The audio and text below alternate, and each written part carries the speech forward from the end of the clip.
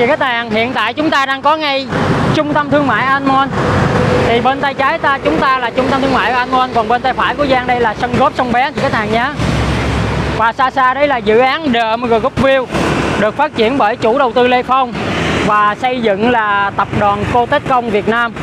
Cotech Công là một trong ba đơn vị xây dựng hàng đầu của Việt Nam của chúng ta đó và đang đứng vị trí dẫn đầu đó mọi người.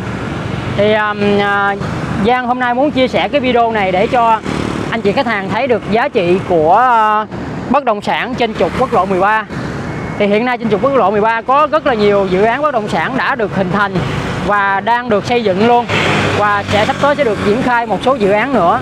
Nếu anh chị khách hàng nào muốn sở hữu một bất động sản ngay à, trục quốc lộ 13 này thì vui lòng liên hệ với Giang qua số điện thoại 091 424 5885 Giang sẽ hỗ trợ tư vấn cho anh chị chi tiết về những cái dự án nằm trên trục này để cho anh chị có những cái sự lựa chọn tốt nhất. Những sự lựa chọn sẽ mang lại giá trị đầu tư cho anh chị trong tương lai. Bên cạnh những dự án căn hộ trên trục quốc lộ 13 này thì Giang còn có một cái dự án cực kỳ đặc, đặc biệt nằm ở uh, Tân Nguyên. Đó là dự án khu biệt thự biệt lập luôn. Trong khu biệt thự đó thì chủ đầu tư họ làm những cái lớp hao lên tới 5 triệu đô để mà phục vụ cho những cái cư dân trong khu biệt thự đó. Và khu biệt thự đó xây dựng hoàn toàn khép kín với những tiện ích vô cùng là xịn sò luôn chị khách hàng ạ. À. thì à, xem xong video này anh chị đón xem một video tiếp theo của Giang.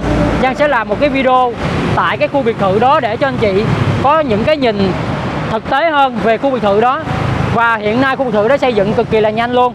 Rồi Giang xin mời anh chị khách hàng cùng xem qua một cái video tiếp theo của Giang để mà xem khu biệt thự thực tế tại The Standard.